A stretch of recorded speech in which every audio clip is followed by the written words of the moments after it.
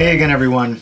Today I want to talk to you about the ultimate goal of Poly 301. This is the thing that we've been working towards throughout the entire semester. This is the thing that um, ultimately is going to define your success in Poly 301, and it's hopefully something that you're going to be able to carry forward with you after the semester is over, um, so that, that you're able to actually sort of convey the information that is most important to you to an audience.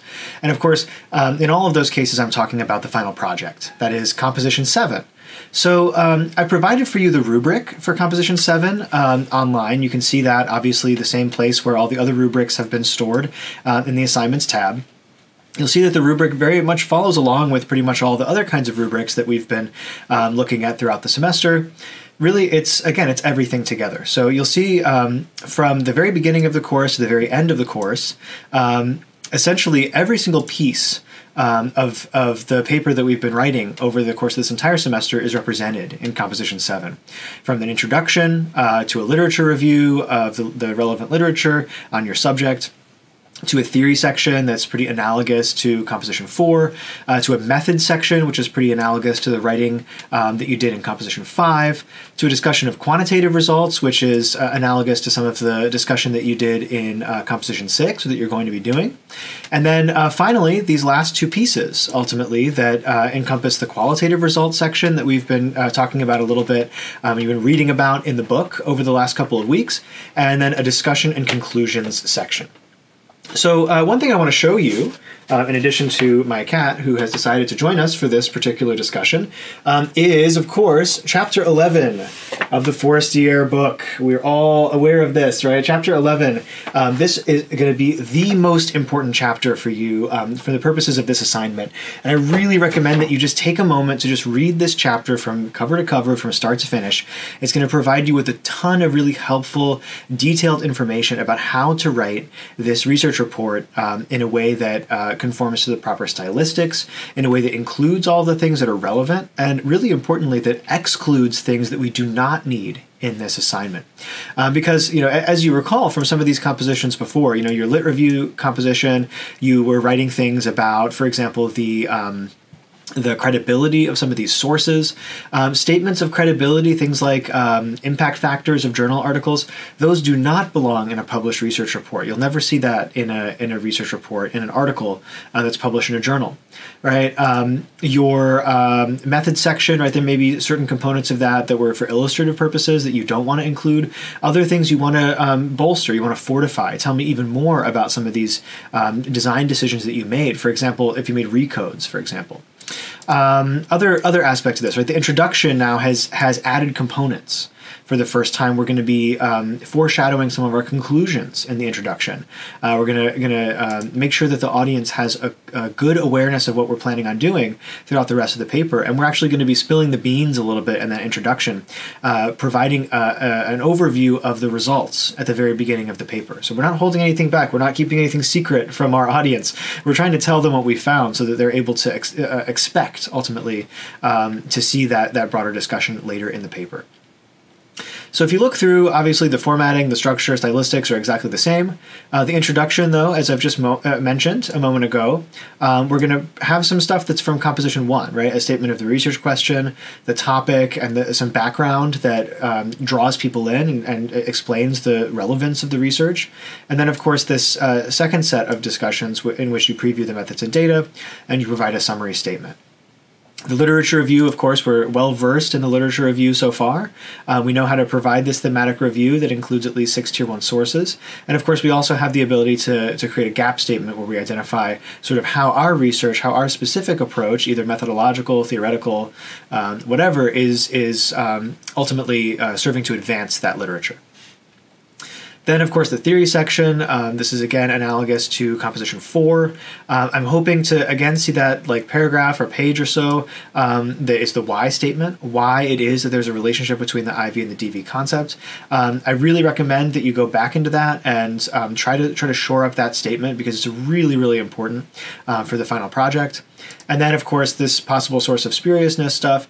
Um, it would be really great in this discussion if you would uh, be able to um, foreshadow some of the variables that you're including in your study as third variables. I've often in the, the videos called them CVs or control variables. Um, whatever these variables are that you think are important to include, um, you might want to tell me a little bit about why you think those are important in this section. Of course, uh, that's the end of the front end of the paper, and in this second part, we're going to be moving from the front end, or the sort of conceptual world, into the, the methodological world, or in the world of measurement. And so in this in this set of uh, discussions, of course, in the methods analogous to composition five, you're going to be telling me about where you got your data from, right? Parenthetically citing those data sets if you have data that's coming from certain places, like say surveys or you know the World Bank or you know state level estimates of something or another, right? Um, and then you want to dive into those measures. You want to talk about what measures did you use in the quantitative um, aspects of the study? What different tools also did you use to do that analysis? So this is where you should refer back to that PDF that's in um, the uh, module four folder, I believe, uh, which is called essentially like bivariate statistics, like how to choose them, right? I forget exactly the name of that PDF, but you want to go back and look in look in there for the the guide essentially uh, for which statistics, which bivariate statistics, which graphics are most appropriate for your for your um, methods, and just mention at that point, like I'm going, you know, like uh, a, scatter plot and um, you know a correlation coefficient are used to report bivariate relationships, and linear multiple linear regression is used uh, to analyze the uh, effects of the independent variable on the dependent variable in the presence of possibly confounding variables. Um, so you just want to mention this also that you're going to do this this stuff whichever they are, and then you're going to use linear regression. So everyone, of course, since we're all doing linear regression, should mention linear regression in this section. Then finally, this is something that's new that's not part of Composition 5. You're going to want to introduce those two qualitative case studies and tell me a little bit about um, sort of what you did, or just foreshadow. You don't need to tell me everything, but just say, you know, archival research was used, you know, or secondary source materials were reviewed, process tracing was employed to identify um, the uh, uh, relationship between the IV and DV in further depth. Um, also remembering that, again, with this um, uh, uh, qualitative analysis, if you are doing a quantitative analysis in the first part that used a survey, in this case, your two cases are actually just going to be people. So you're going to perform these brief interviews that could be un or semi structured. Refer back to the Forestiere book for more information about how to conduct these interviews. Talk to a couple of people you know briefly um, and try to see if you can tease out that relationship between the IV and DV um, in that conversation. So it could be any one of these different different um, uh, approaches to research, either sort of through process tracing that comes from secondary or primary source research, or interviewing, um, if you're working with survey data up, up above, uh, that will flesh out this uh, qualitative set of data. So again, in this section, this method section, you're not doing any of those analyses right? All you're doing is telling me as the as the reader you're foreshadowing. You're explaining to me how you did all the stuff that you did so that later when you get into those results, you don't have to tell me about all those bells and whistles. You can just get right into the results and tell me what you found. And so that is exactly what we're going to do in this part. This is analogous to Composition 6, the quantitative results. In fact, this is going to be something that's very close to Composition 6. Um, some of this stuff comes directly from the Composition 6 rubric. The first one is that bivariate analysis, where you're looking at the IV and DV in isolation, just just that one link, and maybe one other relationship. For example, a control variable in your DV to see if that control variable matters, right? And then graphics that are appropriate. So at least two graphs are going to be placed into the text or pasted in uh, in this section, and then some statistical tests that you're going to interpret, including a p-value and some sort of uh, measure of um, direction and strength. And so again, th- this uh, uh PDF that I've been talking about, tools for assessing bivariate relationships, that's going to be the one that you want to take a look at. And of course, in this discussion, you can see this is three to four pages, so it's not just like, here's some graphs, I found a p-value. You want to tell me about what these things mean, right? What are your impressions of the relationships? Are these strong relationships? Are they weak relationships? Is it surprising? Like, what are these? What do these bivariate analyses tell you um, from an initial perspective about the uh, the relationships between the IV and the DV? Finally, in this section, you'll be performing regression. And of course, you have some uh, experience with that in Module 6 or in uh, uh, Composition 6. You'll be creating and reporting what I call a full model. A lot of people have had some questions about full model. By that, I essentially mean you're going to include all relevant predictors are all relevant variables in this model. So it's not going to be a model with just the IV in there. It's not going to be a model with just one variable or two variables. You're going to try to have as many variables that you think are relevant as possible in this model. So that's going to be, you don't need to do the thing where you build up from a zero model to a one to a two to a three. Um, you can really just report and interpret this full model because that's of course going to be the most theoretically relevant model for your, um, for your interpretations. And you're going to write things like this. So of course this is second nature to you as you've completed composition six.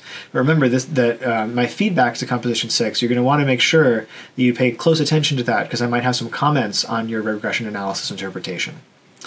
And then finally, I want you to comment holistically, kind of like in quiz 9, on like the big takeaways from this model. What seem to be the most important predictors of the outcome?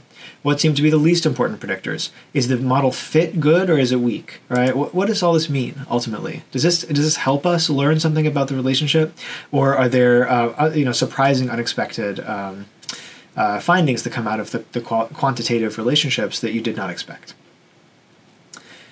Now we get to the stuff that's truly and fully new, the qualitative analysis. Okay, so again, you're going to be using some of the, the tools that I gave you in the previous modules to carefully select two cases. So if your population is states, you're going to select two states. If your population is countries, selecting two countries. If your population is individuals who have been surveyed, then you're going to perform interviews of two people that you know. Um, and so you want to select these cases. I don't really care exactly which cases you select as long as they're considered high impact.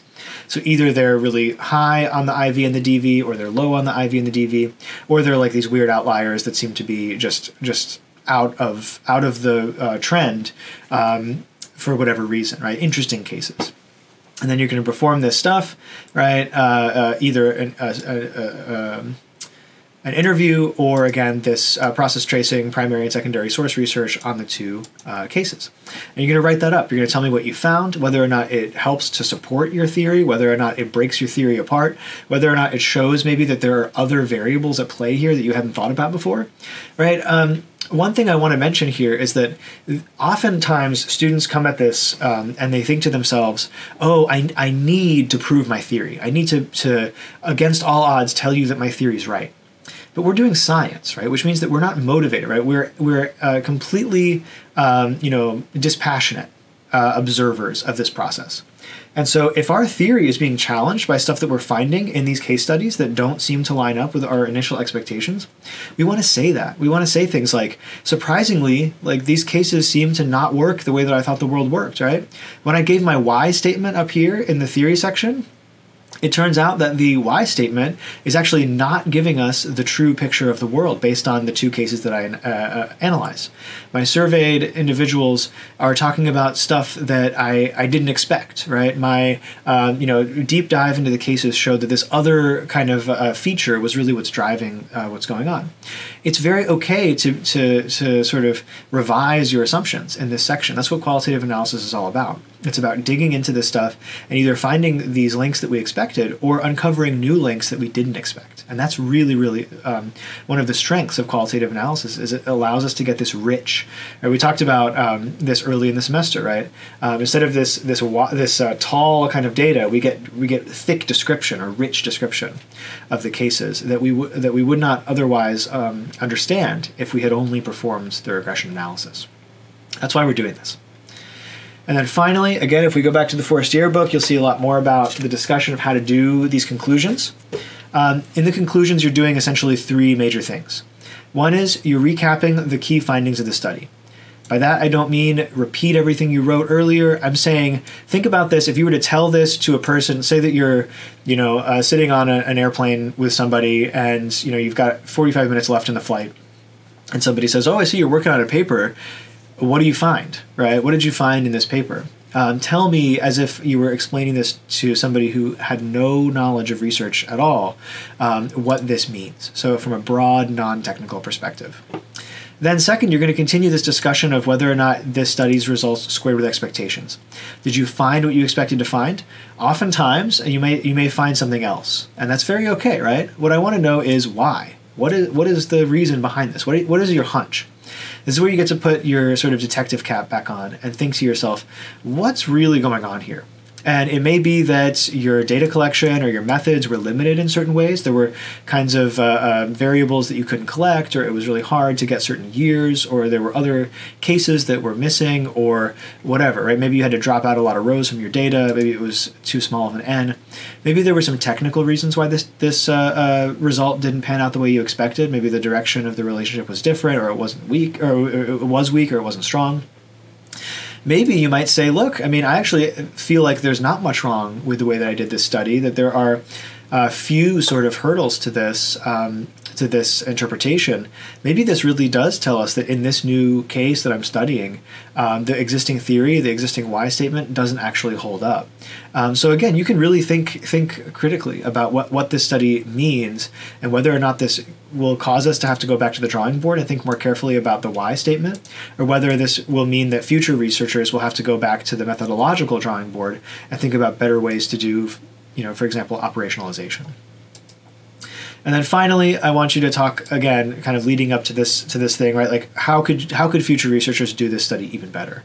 Um, that's a really important statement because it's again it's a cue to other researchers that they might be able to do this um, study in a way that allows them to um, to verify these relationships in, in even more robust fashion. So um, that's really, you know, the conclusions. A lot of people think about this as like, oh, I've, I reached the end. I can just sort of BS a couple sentences here. The conclusions are actually one of the most important pieces of a, of a research paper. Um, and then lastly, we have the works cited page. We know about this, right? We're Chicago style. We are, have already done this many, many times, and so this should not be a problem for any of us. Okay, lastly, I just want to point you to at least one paper. This is something that will be in the uh, module folder. This is a paper that was referenced in the Forestiere book. It's a paper by Jonathan Krieckhaus, uh, Byunghwan Son, Nisha Mukherjee Bellinger, and Jason Wells that was published in the Journal of Politics, which is a very high level journal, um, in uh, 2013. And this paper is about economic inequality and democratic support. So kind of interesting, right? This is uh, actually a paper that may be quite close to some of your research topics. Does economic inequality influence citizens' support for democracy? There's a, a research question right there, isn't it? Uh, really helpful um, to have put this out here um, so uh, so so uh, nicely in this what we call abstract. Uh, but if you read through this paper, you will see that the introduction, the um, there's a little bit of a research uh, of a literature review sort of baked into this introduction so it's not quite in the format that we want but there's a nice why statement a pretty strong theory here right? Distinct theoretical perspectives that lead to some hypotheses right? Four hypotheses in fact. We only need one main hypothesis. Uh, we don't need four. Don't worry about that. Obviously this published paper in a high level journal has got a little more going on than the average 301 paper. Um, but really like this is this is quite like close to the, the stuff that we want here, right? This theory section goes on a little bit longer here because they advance these multiple hypotheses, but you can see that this is uh, more or less the design. Then they move into the research design and measurement stage, where they say things like testing these hypotheses requires combining typical data sets in the survey literature with national data sets. And so they talk about the kinds of um, uh, methods that they're using. They're using multi-level modeling, which is a special kind of regression. Um, and they talk a little bit about measurement, right? Where did they get their data? Oh, look, we know about this, right? They get their data from the World Value Survey. They cite the World Value Survey here. They talk all about the different countries that are included. Uh, they talk about some of the, in these footnotes, they talk about some of the technical details here. But then they get into a discussion of, lo and behold, the dependent variable. They talk about what they're measuring. They use democratic support this uh, this variable that some of you have maybe even been using in your study.